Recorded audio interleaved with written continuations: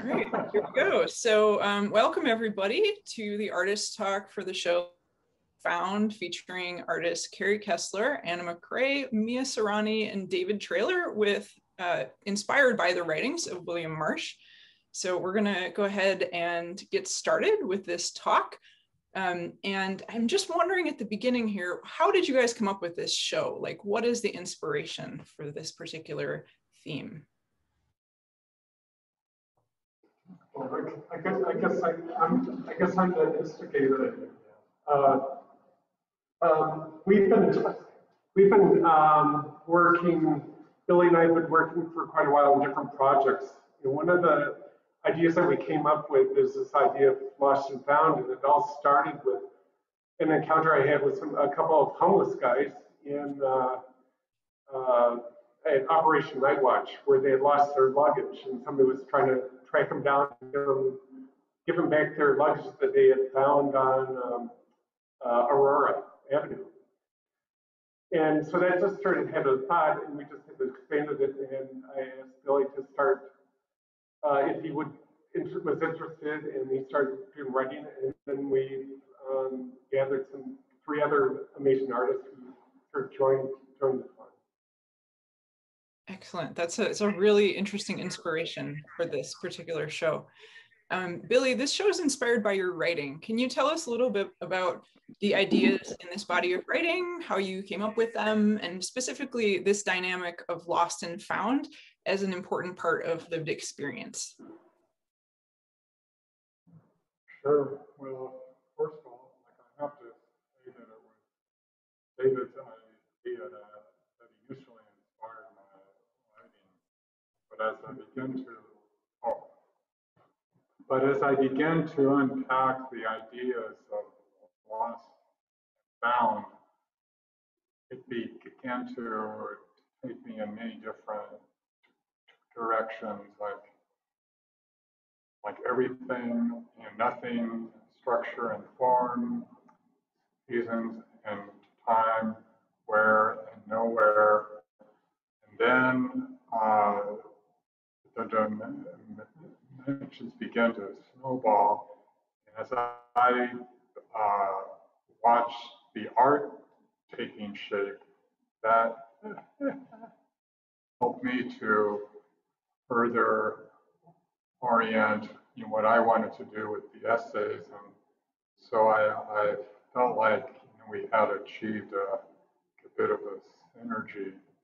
Um, and so what I felt like when I finally completed the essays was uh, me being influenced and them being influenced and having it all come together.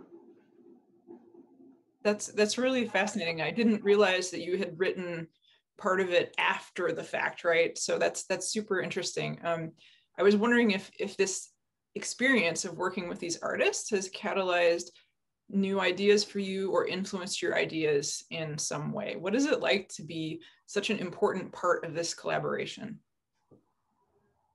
Well, it's been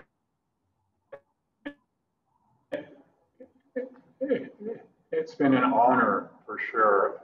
It's been a it's been a great joy to work with these four artistic minds and hearts and to watch their creative juices flow into many, many directions. And I have drawn some of the themes for my essays from the themes of their art. And it's been a very vitalizing experience for me. And I've, because I do a lot of academic writing, some pretty dense philosophical writing, like ordinarily, and to do these essays on much more colorful themes and to work with people outside academia. This was it was very refreshing. It was good. Such a cool collaboration. I really like that collaborative aspect aspect of this particular show. And I have to note some of the work in the show is part of the collaboration and some of it is not. So there is independently produced work that's that's hanging in a certain area, but like there, there are two different kind of shows that are running in parallel. But just speaking about the work that's inspired by Billy's writing, um, despite this pandemic, you guys still got together online, right? This pandemic's keeping us apart physically, but you organized this exhibition and worked together on the ideas that you're exploring in this show. So how did you work together at a distance for this? And how has your understanding of the kind of groundlessness of loss and the creative work of finding been influenced by working together as a group? Does anybody have thoughts on that?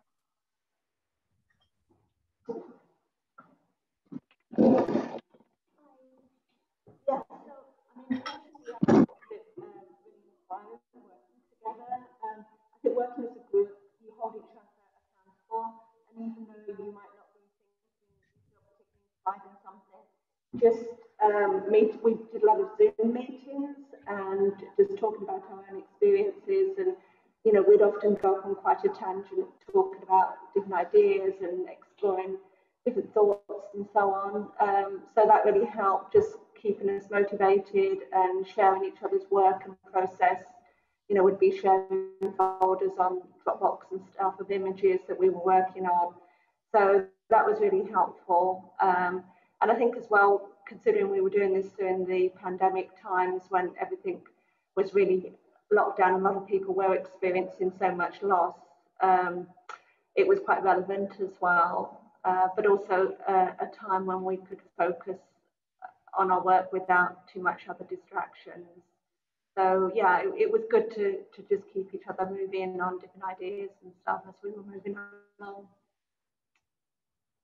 Excellent. Yeah, the the kind of collaboration that you guys have achieved is, I think, really exceptional in this show. It doesn't you don't always see shows where there's there are actually collaborative pieces like there are in this. Um, so yeah. I'm wondering if you guys, if one of you could tell me a little bit about some of the collaborations that were produced through this uh, this exhibition. Um, yeah, uh, do you want a quick guiding tour of some of the work we've been working on? Yeah, sure. Just just uh, tell us about one or two or, or whatever, just yeah. about some of the collaborative pieces, how they came about.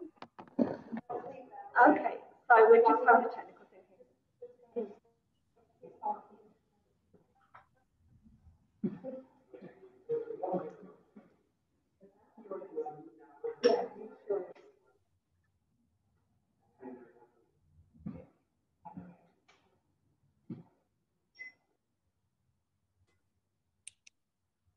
Right there, it's here now. But you need to mute that. Mom. It's the button in the corner. Okay? Okay, cool, go. Yeah, so I was just going to quickly show you some of the work we've been working on for the Lost and Found project. Um, some of the pieces, um, well, we all, all sort of interplayed on um, working with pieces from each other. So um, David gave um, a few of us some ceramic vessels that he'd been working on. He's a ceramic artist, um, as well as other different um, art mediums. And so he gave us some uh, vessels to work on. This is one of my pieces here, um, a ceramic vessel that I have um, adorned with various um, found objects around the house. Um, and also Karey has been working on mapping. Uh, I think we're going to go into more detail about these pieces later on, but just to give you a flavour of what we what we worked on. Um, we were using some of Billy's writings and his words and incorporating those in our work as much as we could as well. Um, so it, it's really multidiscipline and just feeding off each other's creativity. I know some of my other work as well. I, I made some small books up there. Um, I used some of Billy's writings and incorporate those in the books. Um, so, but I think individually as artists, we are going to talk in a bit more detail about our pieces, but that just to give you a flavour how we work together um, and sort of did a crossover of our work. So, yeah. Yeah, excellent. Thank you, Anna, for that um, little tour of uh, the collaborative pieces in this show.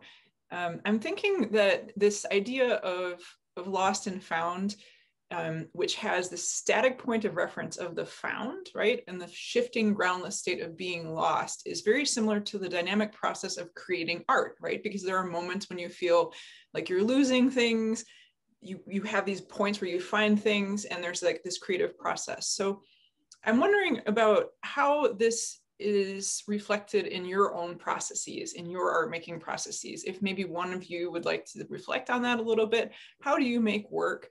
What is found when you start a piece or what is not found yet? Is it a process of discovery and searching? Or is it a process of losing something that you previously had kind of a fixed idea about? Like, how does this relate to your artistic process? Maybe just one or two of you, if you could reflect on that.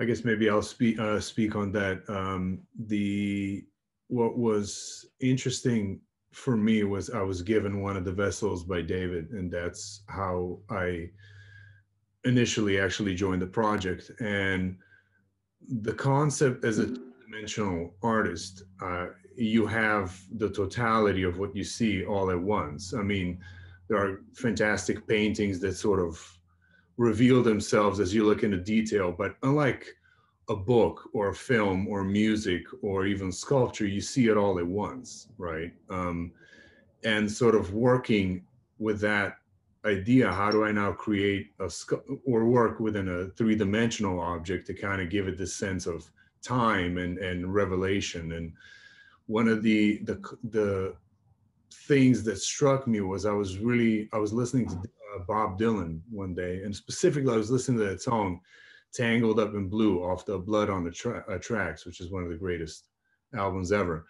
And what's fantastic is that he employed this disjointed storytelling. So you kind of see you hear a story told, but you're switching back and forth, forward, backward, and you're kind of getting lost in this narrative. And so I thought what'd be really cool is if I created something that could actually, no matter where you entered it, it continued into a new, sort of evolved into something else. And I finally came up with with the idea for that um, vessel that David made, to where wherever you enter, it could be a beginning, but it's also the the end. And and so that was the the found and the lost all at once as as as I was trying to figure out how, how do I work in a medium that's not really necessarily my forte. so I, I, think right there, um, Jonah right now is showing the piece. So wherever you enter it, right, it can be a beginning or the end. It can be the lost or the found, and it continues to reveal itself as you're sort of walking around and seeing it. Excellent. Thank you, Miha, for that. That's uh, a beautiful piece. Oh, thank you. Um, I, think, I think I'll, I'll talk to this as well because um, the content and my process really relates to Lost and Found. And I came a little bit late to the um, collaboration, but I my work and my mindset fit right in because making, I make map inspired artwork and the process really is kind of lost and found because I make marks and I don't know where I feel that this is. And then I think of a word or a phrase and it pins it down, but then I'm making more marks and then I'm somewhere else.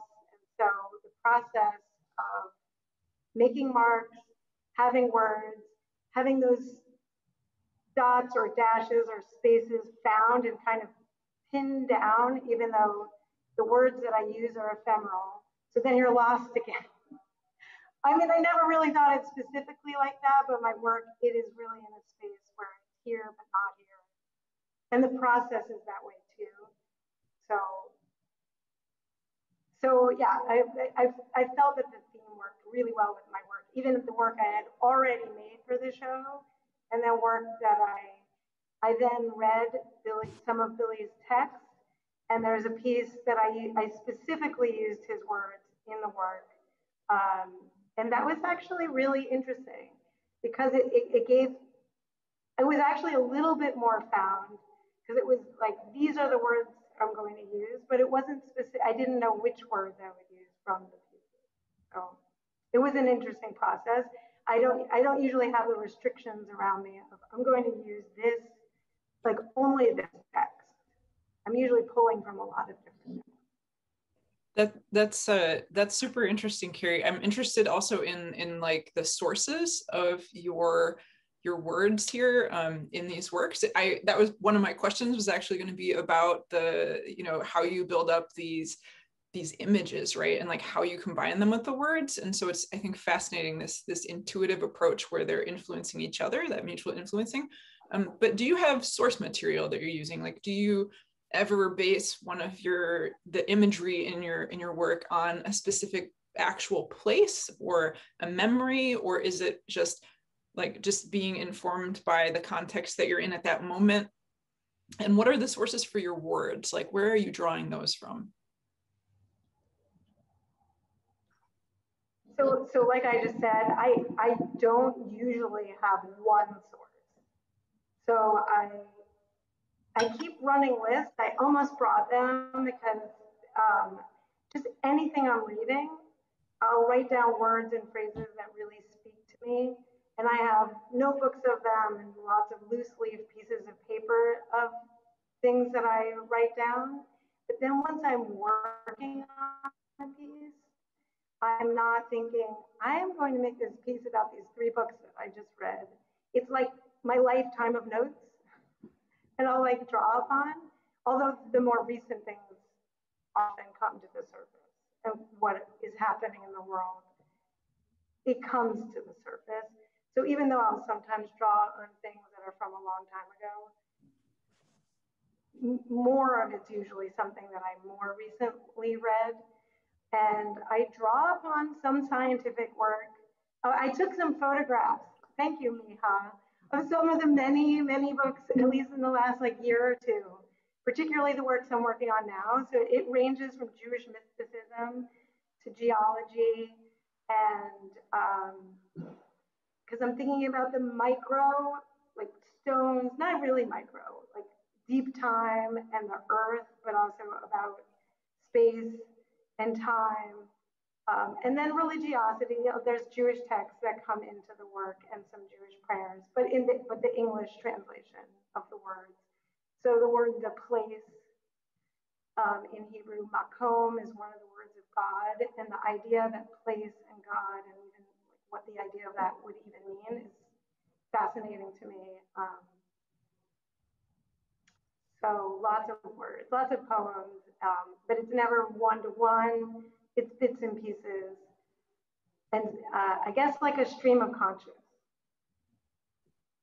Excellent. Um, that that idea of the place that can also be God, that idea of combining something that's so specific and grounded and, and found, if you will, with something so abstract as the concept of God is um, I think really inspiring here and and it really speaks to the kind of quality of these works and that I see them in different ways. Like I see these works on the one hand as a sort of an anti-map, like one that that goes in counter to my desire to see things that are explained, written down, defined, um, and controlled, right? So in that sense, your work seems to pair this fixed topography with words that resist being fixed down to one place, these kind of abstract concepts. Um, on the other hand, these works suggest meanings to me that I would never have paired together. Like they, they produce new kind of poetic constellations of meaning and and fix them together in ways that suggest like the generation of meaning. So i'm wondering for you do you feel like you're building meaning with these works or eroding it? And um, yeah is this about like losing a kind of a sense of, of uh, certainty or is it about finding something or is it both like how do you navigate these works I really love that question. And but my answer is going to be just like my work that it's both.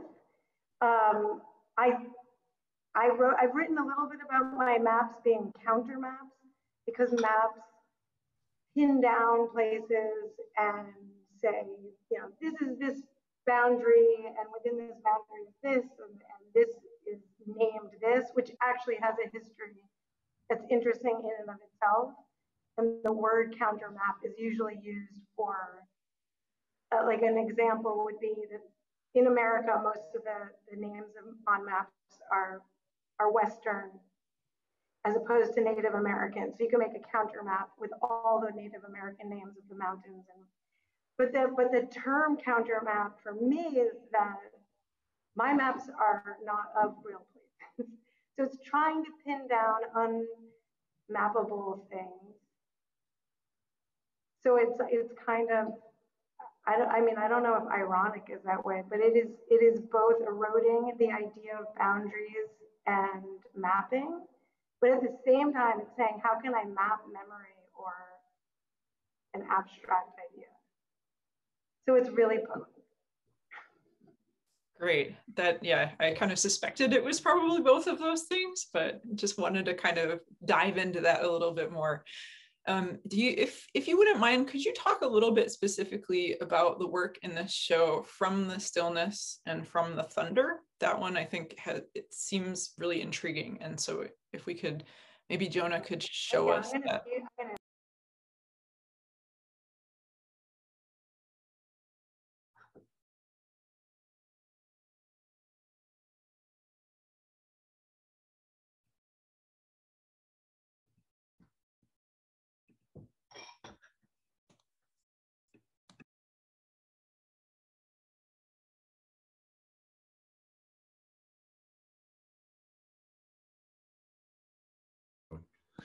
Said in the meantime. There you go. Okay. Um, am Mm -hmm. Okay. This one is called From Stillness to Thunder.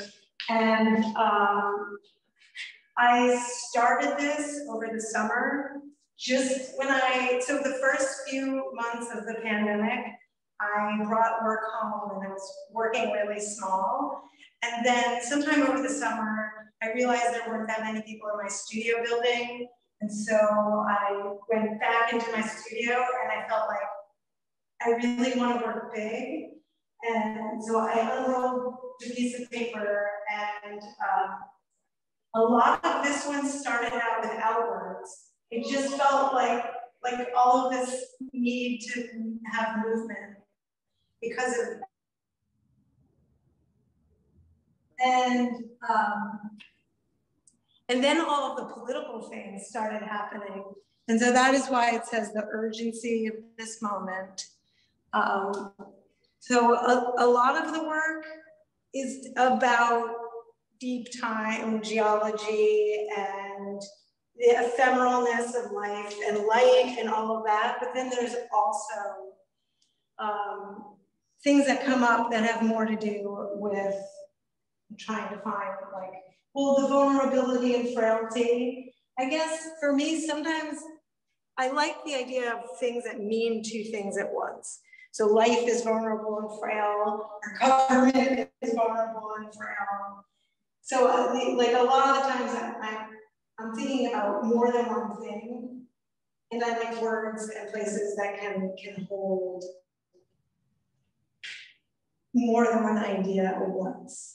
And there was so much going on between the pandemic and politics, and then just confinement being at home, and then release of being in my studio. And so that's that's where this comes from. Excellent. Thank you, Karey. That that's uh, such a powerful work and such a work from this moment, right? Um, I'd like to ask a few questions to David, if you have a moment, David, to kind of come closer to the camera.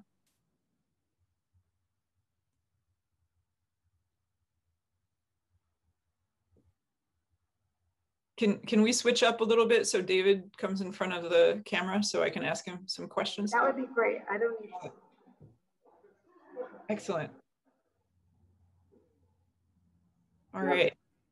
Thanks, David. So um, in your, your garden of lost and found that you designed incorporates structures, um, which are on display in the gallery, but it also, it, it also incorporates a garden, like you chose to site it in an actual um, landscape, right? So it's not just hardscape and architecture. You made a deliberate choice to create a garden that incorporates plants. So I'm wondering if you could tell us a bit about that decision um, to use the materials of the garden, the space of the garden, and how that relates to the kinds of intellectual or emotional experiences that you would hope to catalyze in viewers of this space. So I'm interested in that botanical aspect related to the architectural here. Oh, uh, so am I, but yeah. Um, so, so let me step back a, a moment. I'm, I'm, I'm not a storyteller. Um, my work is mainly looks at pattern and looks at objects and things like that. So when it's confronted with, you know, how do you convey something as broad or as specific as lost and found, it's really through, you know, clay or through sculpture. It's, it's a little, little daunting, you know. Um, so I'm a landscape architect also, at least I was, or I was trained to be. And I thought that gardens um, and uh, it place the installation um, was a, a, a, vehicle for me to start to look at, start to tell a story about a particular idea and place. So I, I fumbled around for quite a while trying to figure out, well, where would this garden be? You know, any kind of garden. So I, I have owned five acres up in Hansville and, and I sort of model, use that as sort of the starting point. But that piece of two acre land sort of moved all over the world at some point in my imagination. So then I, I started to say, well, start to look at it as if I was designing a, an installation art piece, which I've done before. And um, so I said, well, I can create sort of the backdrop and create the, the, the environment for uh, things that might be able to tell a story. And so I, I came up with this idea of a, a, a reflecting pond and, and um, a garden, uh, somewhat formal, somewhat informal in the middle of the woods, um, uh, Kitsap County. And uh, started from that point. And then I thought that um, well, maybe the way to tell a story is through uh, the architectural elements that are put into that garden. Um, and so I, I, went back, I have this uh, really, I really enjoy uh, the idea of garden follies, which are date back to, you know, Queen Elizabeth and Kew Gardens and whatever. You know, buildings that are, have, um, are fun to look at and fun to, fun to wonder about are, are focal points within the garden, um, but really have no function.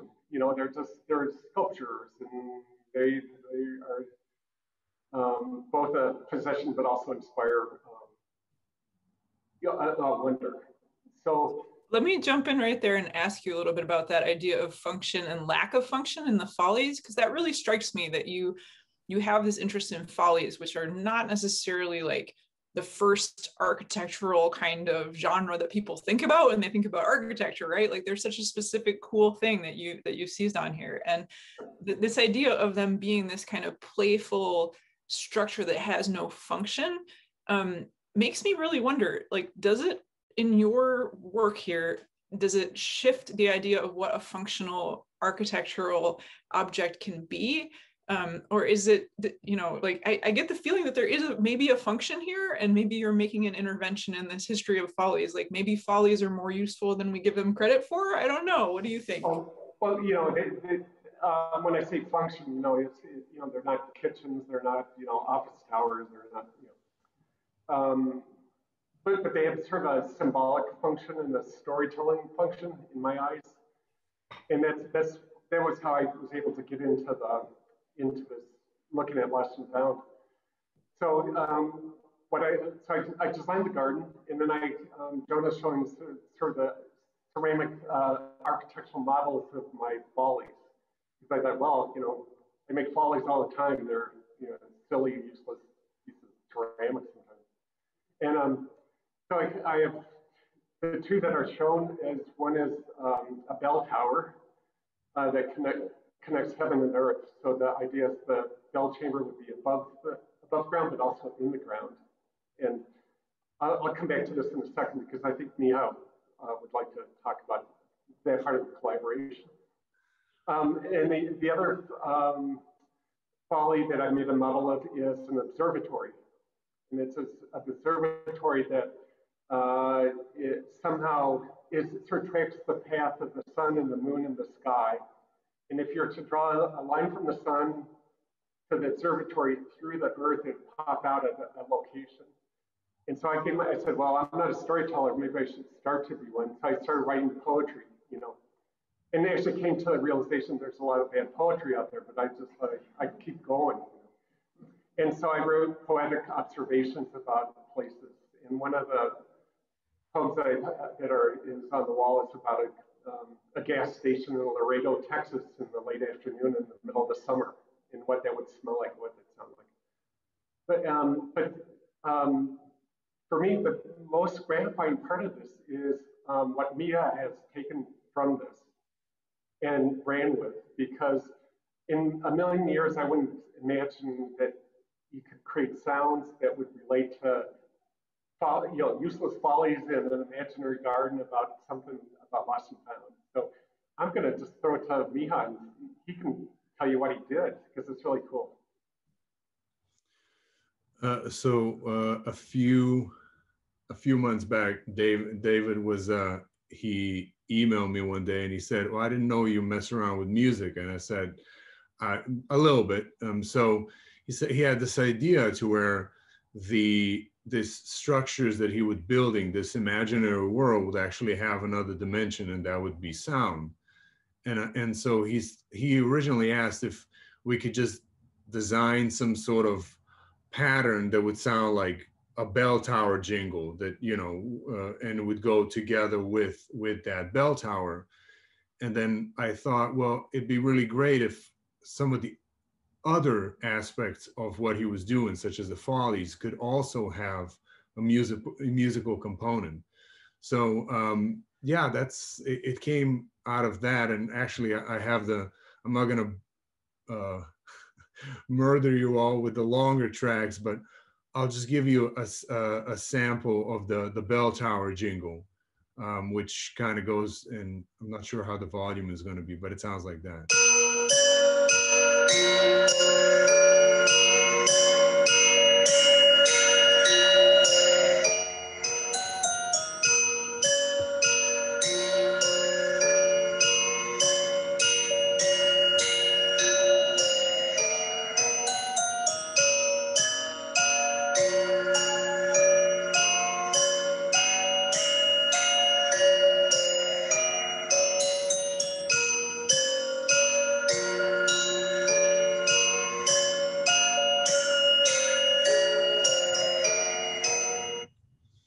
So i mean that's that's the the the jingle and it just continues to loop. And to, to incorporate the idea of lost and found the um, what we did is we found some metallic objects like spoons and and old coffee cans and stuff like that and recorded the the hitting of those objects and then added some um, some filters on it just the delay and stuff like that. But the objects that we found to create these sounds, metallic sounds, were actually also found objects. So to kind of stay stay true to the theme of the show. That's that I'm so impressed that you guys made that out of found objects. It sounded so polished. That's uh it's wow. Thank you. Fascinating. Excellent. Well, if if we um, could do another little switch around and maybe get Anna to come in front of the computer, so maybe she could talk a bit about her work. Um, I think that I'm, I'm really interested, Anna, in, in your work, See Resilient Escapement here. I don't know if maybe we could get Jonah to show it. It's in the corner, back corner of the gallery there. Um, there are elements in it that seem classical, right? Um, so there's a container that resembles an amphora. There are miscellaneous objects that seem like they might be patinated marble. They have this kind of like, you know, pale quality to them, but with, with kind of a patina. Um, and they're they're hanging together as though they're they're something that's been kind of dredged out of the, the ocean or, or maybe the Mediterranean Sea, given the amphora, right? Um, but at the same time, when you look closely at them, they're, they're actually um, objects that are very contemporary. It includes things like a flip-flop or tea bags. So I'm wondering here, the, the, associations span this seemingly contradictory range, right? From garbage to precious antiquities. Can you tell us a bit about how you're thinking about these objects in relationship to these kind of dichotomies, past and present, detritus and treasure? Um, John is just catching up with us on the video. Locating the here, you'll see, and I'm sure that he'll be exploring the surface with us as he um, homes in on the piece. It looks like he might have frozen the screen a little bit first. But um, anyway, so I start off with one of David's vessels, and um, the work that I usually do, I'm, I'm more material-based artist, so I respond to materials and, and what I can do to them. And I, I really like to take uh, found objects or um, unprecious materials and play with those. I, I find that um, I can be more creative with something of little value so that I can sort of give permission to just mess it up as such. Um, so um, using um, the David's vessel here, uh, I then created uh, a sort of a network that I weave found objects into.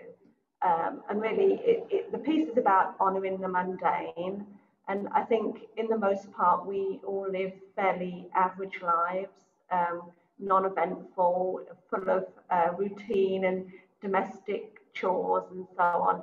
So I really wanted uh, to, to honour that and just um, let it be seen in a different way and give people the opportunity to explore that surface and really then kind of bridge that idea of, of present and past um, and exploring those surfaces and, and um, you know, giving the viewer something to uh, relate and explore and have their own experiences with um, when they recognise the pieces. Um, and uh, you know, sort of that was kind of really important to me. Just, just sort of, um, I don't know, just allowing people to to see mundane objects in a, a sort of a, an, an art form. Um, I'll just ask Jonah if he can perhaps go back to that piece. Can you? The one at the end? Yeah. Yeah. There you go. Um, yeah, if I don't know whether Jonah can give us some close-ups on that piece, but and then you can have a look at uh, some of the areas with me and see what you can find. But yeah, I mean, there's a calculator in there, a watch, a bit of pasta, some plumbing, um, always a tea bag because I've always got tea on the go in my studio. Um, and uh, there's some rubber gloves in there. I don't know. There's just all sorts of mush and mess that really, I think, with the treatment I give them, it, it does, um, you know, sort of want you to draw in on it and, and look at those surfaces and, and that aging process uh, looks as if it is dragged up from the sea, as you say yeah, it's what I call um, messy imperfection because it's just kind, you know, it's just very messy, but that's what I like about it. Yeah. there's a there's a real beauty to that, right? that, kind of um, organic feeling order yeah. and disorder and and yeah that that uh, that transformation that you're that you're bringing. So we're seeing these things with a new set of eyes. We're not seeing these things in the way we normally do that they become yeah. something more. I'm wondering also about your the works that we might define as paintings right? The more two-dimensional canvases that you have in the other gallery. Yeah. Um I'm interested in the relationship here between the kind of high modernist visual concerns of abstract painting that I'm seeing here, but also these uh, material qualities of product packaging, which is collaged into these works, right? And we see that because of mainly the, the edges where the shadows are casting against the wall. I think that's fascinating, that little tell that gives us gives that away. Um, so mm-hmm. how do these materials relate to your process here? And, and are you doing a sort of visual archaeology here where you're making a, kind of a drawing a line between the modernism mm-hmm. of painting and also of product packaging and consumerism and that's sort of you know these two things that are that are like hand in hand that we don't usually think about? Yeah, yeah. So as I say, really, I, I feel as if a lot of my work is generated from materials, the materials that I'm playing with. And um, this last year, I've been with um, again, I, I just enjoy non-precious materials and the I've been deconstructing boxes. Of course, we've had a lot of Amazon boxes um, coming by our hands recently, um, but not just those. Um, a lot of these are sort of cereal boxes started from, you know, uh, tea bag boxes, um, that type of thing. And I've been deconstructing those. And I just really enjoy how those boxes are made. I mean, there's there's so many so much detail and thought that goes into a cardboard box that you know the strength of it for start just out of really just just thin cardboard and the folds and the tabs and then you've got the text and that you know that and the, the strength of it so I've been deconstructing those surfaces and building up a new surface to work from um, and again it's just sort of this contradiction between um, you know sort of fine art and then just the mundane and the non-precious and just really enjoying those new surfaces that I'm making. And um, you know I just love the rawness of those. And I've also been working into more three-dimensional work. I think really it's been the last two well more than two years three to four years I suppose I've been playing around with more three-dimensional work um, but really I think I've been embracing that more so this last year um, and the piece that Jen is focusing on at the moment, um, you know, that's that's quite a large, definitely three-dimensional pieces. The the paintings are a little flatter, um, but still have a lot of texture and surface. Um, and so now really I'm I'm doing doing more three-dimensional work as well, which I think is a, a nice um, contrast to the rest of my work. It kind of feels like it, it holds a body of work more to have those two elements in it. Yeah, I'm wondering if you if you'd mind telling us a little bit more about specifically your three-dimensional piece in this show. We are all superheroes. Yeah, sure. So I started with one of David's vessels, and I wanted to kind of treat it a little bit differently from the first piece that you saw. Um, I wanted that to be a little bit more playful, and um, um, maybe Jonah could show us that one. It's in the other yeah. room there. It's just to your left there, Jonah. Yeah, Thank you. yeah, there you go. Uh, yeah, and I decided to treat it a little bit like a willow pattern design with the finished paintwork on it. So hence the, the blue and the white. Um, I'd asked friends if they could dig through some of their trashy stuff and come up with some some donated bits of crap for me to stick on. So it's very random the things, and I've got some fairy lights, and they can tell it was around about Christmas time. I can see. Um, but yeah, one of my friends uh, gave me a, a, little soft toy from one of her children, and that's perched right at the top, and it's got like a superhero cape, and he's wrapped around the top. If you can stick in there, there he goes. And so that's where the title came from. We're all superheroes. Um, it, it wasn't, you know, it's kind of like an afterthought with titling, which I think most of the time titles are. And I tend to be fairly random with my titles, and it tends to be fairly spur of the moment and just kind of some quick little thought that comes into my head. I, oh, there's a hair colour in there, I can see too. Um, but yeah, uh, so yeah, it's, it's, it's quite a playful piece again with found objects and um, I don't know. I just like the kind of reach it has with high and low art on this piece. Um, it's it sort of goes between either being really ugly or really I don't know, appealing. And and I the, the pedestal it's on was something that I'd hauled over from England 20 years ago and ended up in my attic. And we were looking for pedestals, and I thought, hang on, I've still got that old pedestal up there. And I thought it was kind of perfect for that because um, it's that kind of decorative over the top. Not quite sure whether it works or not, but I don't know. In the fullness of time, I, I may take some of the fairy lights and just continue the whole base as part of the piece a little bit more and integrate that a bit more. But um, yeah, that's another piece. Excellent. Thank you. Yeah, that I love also that thing that you mentioned about the blue and white, the inspiration of like blue and white uh, ceramic ware. And mm-hmm. it's it's also that thing that you were saying about high and low, right? Because on the one hand, you have some ceramics that are painted with cobalt blue that are extraordinarily valuable and precious objects. And then you have others that are super functional things that we think of as just kind of like a craft that isn't really, you know, yeah. that, that's it's wonderful. All the the dichotomies in that. Thank you. Yeah. Mm-hmm. Um, Miha, I wonder if I might ask you a few questions. Sure. Um, so your work, Flight into Egypt, in this show, as with many of the works in this show, gives me this feeling of seeing something that is that's showing the echoes through history, the losing and the finding, the rediscovery of themes that return and return again over the ages. Um, in this painting, you base a contemporary depiction of a refugee family on depictions of the Christian story of the Holy Family escaping to Egypt as refugees. So, what are some of the sources that you're quoting from here? Are these refugees fleeing a specific conflict?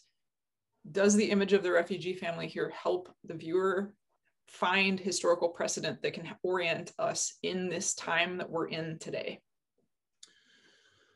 Um, one of the things that I was really interested in doing is this um, the long-standing tradition of, of history painting as as in this grand you know the the most elevated of of pursuits is to, to work in this theme of, of history painting. And there were very specific requirements what qualifies as a history painting. So i wanted to sort of invert or maybe transgress some of those ideas. And and and the first thing was the approach to how it was painted. I mean uh, these were the uh, most of these um, the, most of the material in the painting were uh, not very, um, uh, you know, uh, fine art uh, materials. So a lot of uh, there was coffee and and and and uh, charcoal, which kind of blended the two, and a lot of house paint, so commercial paint. But um, one of the things that it resonated with me was that when I first came to America in 2000, I, I, remember sort of not having really, my expectations were um, very high. And I was really kind of shocked the questions that I would get asked when I first came here as an immigrant. And, and but I, there was a specific um, event that this episode that I recall, somebody, I was in America and somebody said to me, we are God fearing people. And that phrase, phrase really kind of stuck with me. And with everything that was sort of happening last year uh, politically, um, and just this intolerance towards, uh, well, not by everybody clearly, but this, you know, the, um, that for people that, that were pre- pre- pretending or projecting to be God fearing, I thought, well, there are passages in the book that you're celebrating that speak on the, the flight of immigrants. So how can you kind of have this, you know, hypocrisy? Uh, and in a way, that that's really what began to drive this piece, um, and kind of trying to comment on on on my own experiences as an immigrant, uh, experiences of even growing up in, in, in the Balkans in, in the 90s, where there was the, the, the war in the Balkans and seeing uh, firsthand, you know, people from Croatia and Bosnia and, and Serbia as they were, as, as they were relocated and people that have lost everything. Uh, there, there's something really absolutely gut wrenching when you see uh, somebody be like their entire existence existence has been erased and so i wanted to kind of try to see if there's a way to try to capture that uh, in a painting and there's even a reference in this painting specifically to a um, to a frida kahlo painting which is called self-portrait on a border between mexico and america and uh, you sort of see there's a division where Mary is standing and uh, uh, one side is all red and the other side seems to be much more kind of grounded in in um, in our world. So like between the lushness and sort of the dried out area. Yeah. Thank you, Miha. I'm I'm also wondering about your work that it the work the Atlas of the Void. Um, if you could maybe tell us a little bit about the text in that one. Sure. There was a when when uh, when uh, Billy sent the the pages, I, I started really kind of uh, reading a lot of those um, passages, and one of the writers that I've uh, always loved was um, is uh, Joseph Campbell, and sort of the idea of mythology and and the journey. And there was a th there were some correlations to me between between um, some of those aspects and and the text that was being found. So I would try to see if there were certain passages that I thought were really comprehensive and sort of kind of had the largeness of, of these big events um, in themselves. And so I, I originally drew out the image and then I would, I would use uh, almost like a collage process to cut out the pieces. And sometimes the pieces themselves, because I didn't want to crop part of the text, would end up informing the image in a way because I had to sort of include that part and vice versa. Sometimes by, by, you know, the contour of the figure, part of the, the text had to be cropped and to sort of change the context of that text. So, um, and I wanted to somehow relate to, again, to this idea of lost and found. So I try to um, employ the process and it's particularly the aesthetic of one of the very first shows that uh, I've done uh, back in 2013, I think. And sort of, uh, which it looks like a very, um, um, you know, um, almost like a graphic design, like comic books, which that was what originally attracted me to the art uh, arts uh, was the fact that I always wanted to draw comics.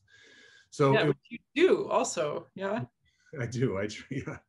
And sort of this, you know, this um, conversation between what qualifies as fine art and what qualifies as something that's going to warp your young mind. Um, so, and I, we have more and more of that um, kind of aesthetic crossing over into fine arts and, and kind of uh, eradicating those those boundaries. So, I, I always try to uh, find it fascinating to see if there's a way if I can maybe poke that bear a little bit more. Excellent. I'm wondering, Jonah, could you move the camera a little bit to the left? There's another piece there that has some roses on it that's um, called the Psalm of Passage after Anselm Kiefer. That one, yep. Um, Miha, could you tell us a little bit about this one? I'm really interested in a certain aspect of this one because it, it stands out. It's got three dimensions because those roses that you see there are in relief, popping out from the canvas, standing out. But at the same time, this is actually a piece that extends into a fourth dimension, right? Because it includes time, because you actually made music for this. So can you talk a little bit about that, your decision-making process, this piece, and how these things fit together? So in in the show that I was just talking about, the Trojan Soul from 2013, I I had just prior to that show heard this horrible news that you know the average uh, viewing of uh, by audience is only seven seconds when it comes to the artwork. And I thought, that's really, for us, the visual artists, that's really kind of sad. So I thought if there's a way to, that I could maybe manipulate, uh, for lack of a better word. Um, so that show in 2013 was the first time I started messing around with, with time. So I composed all these soundscapes that one would scan and then sort of it was forced people to look at the painting because they were listening to the to the song to finish. So when it came to this one, I it was originally began, and and the reason it's it's an homage to Anselm Kiefer was in after the not the last election, but one prior to that, there was um, there was a bit of a lull in my creativity because I didn't want to do art that was going to sort of be very responsive to the fact that you know the former president became at that point the president. And I remember kind of thinking like, I, I, I really want to do something about it, but I don't want to do about that. And I sort of felt a little frustrated. And then one day I walked into SAM and in its glory, there was this beautiful painting by Anselm Kiefer called The Order of the Night. And I thought that it was almost like a, some sort of sign that was sent or presented to me. And I thought, that's the key. It's, it's to kind of keep uh, you know, if, if you are going to have a, a political commentary, a social commentary to kind of keep it timeless, you know, by not being very specific.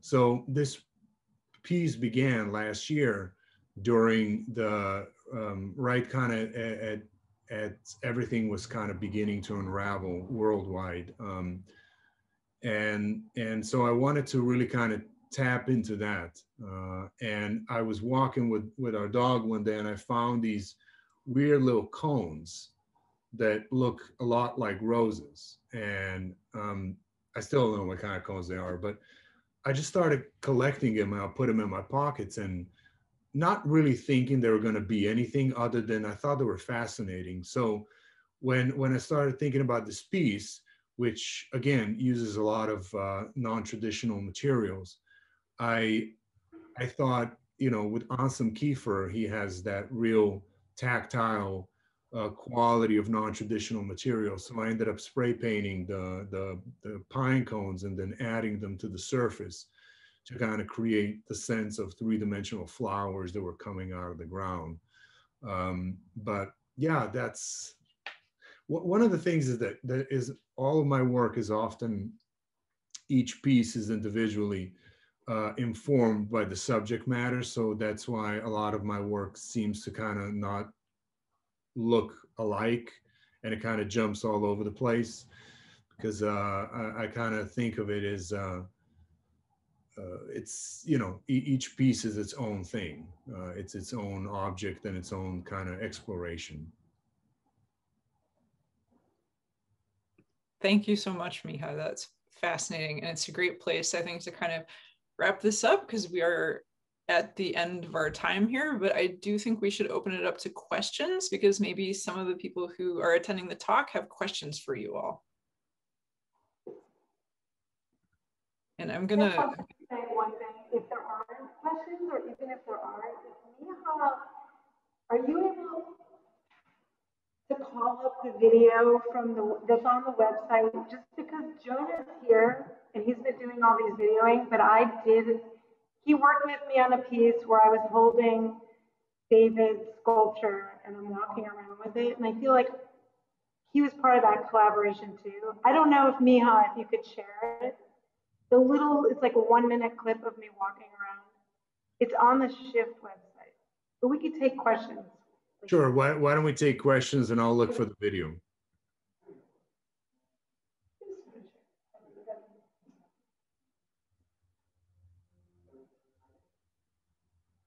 Yeah. But we can take questions.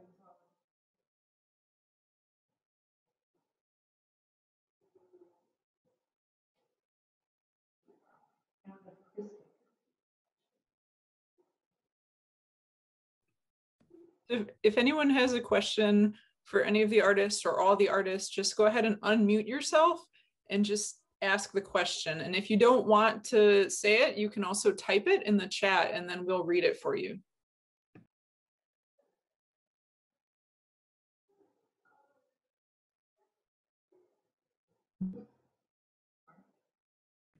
Okay, I'll get it started just because I think people are thinking like, oh, maybe I didn't think of the question yet. The question can be anything. It can be about a specific piece. It can be about, you know, what did you eat for breakfast this morning? Anything you want. But the first question I have for all of you is, what are you going to do next? Did this give you new ideas? Did this show kind of push you in a different direction? Do you have like new thoughts that you're that you're working on now as a consequence of the works that you've done for this show? I'm gonna let David just slide in. Um, so we're, we're working on uh, uh, we're going to continue thinking and working on these individual projects. But, but one of the things um, Billy and I have been thinking about and talking about is that maybe that'll be a third piece in a, a trilogy of works that we've been working on. The first being um, we worked on a project about home, and this collaborative about lost and found, and then the next project might be uh, concerning about a journey about how do you being, I guess, self uh, self-empowered to actually um, confront things and make decisions when confronted with uh, lost and found, lost and found, in home. And so I think uh, it's a seed of an idea that's just going to start to germinate. We'll see if it goes anywhere. Yeah. Yeah. Excellent. We have a request for Jonah, if you're available to do this. If you could walk around slowly and just show the pieces one at a time, just once.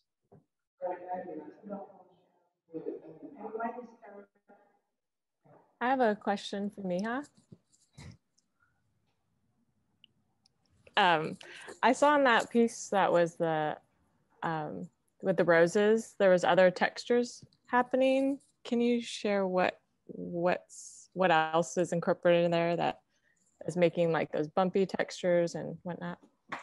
So um, the materials that were primarily used for the top half of the painting, which is the more texturized uh, upper half, though um, that was it began. I think the the it began with um, house paint that was probably out of date, so it began to kind of turn a little bit, and so it started to kind of create a bit of a, a sculpture effect. And so it was applied um, and then i drug it through the ground outside to where it disrupted it even more. And there's uh, some pebbles and and and dirt that's attached to it. And then there's several more layers of um, commercial paint. And i think ultimately in the end uh, there was wall compound as well as um, some um, flakes, you know, they're like uh, um, iridescent flakes. So if you actually look at under an angle, it begins to kind of shine and shimmer a little bit.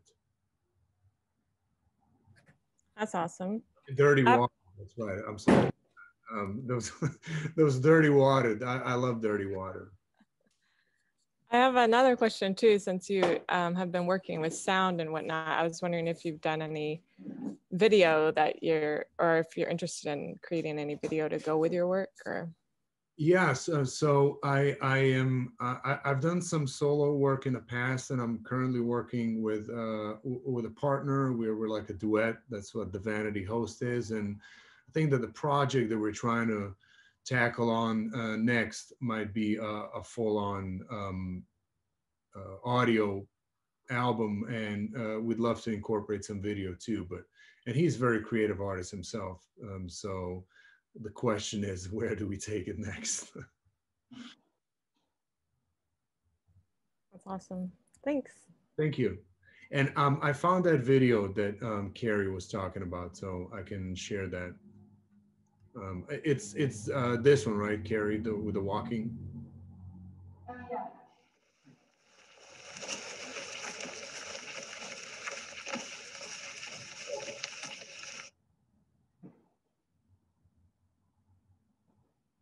Yeah, I'll play one more time.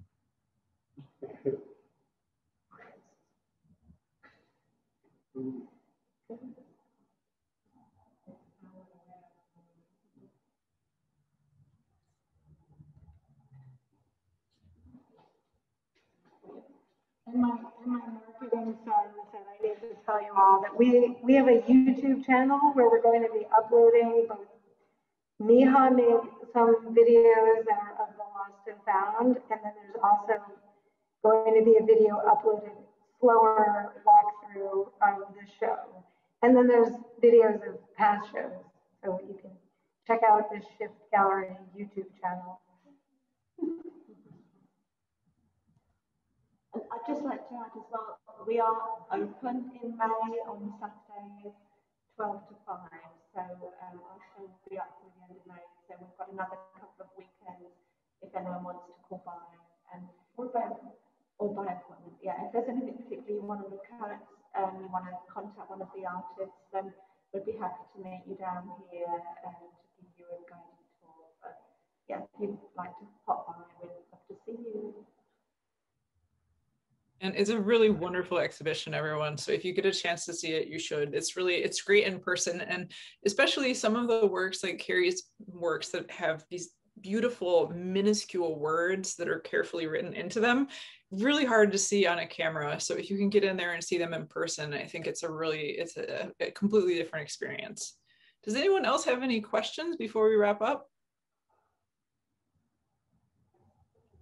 No? Okay, well, we're we're just going to be here for a little while if, in, if anyone is lingering because they don't want to ask questions in front of other people. Um, but thank you all so much for coming. And this was this was wonderful talking to you all. Thanks to the artists for being here. If we could give them a little round of applause, that'd be great. So you can... And Krista, yeah, thank you, Krista. Krista, thank you for your wonderful questions. Yeah, enjoy the helpfulness of the tech. Applause for Krista.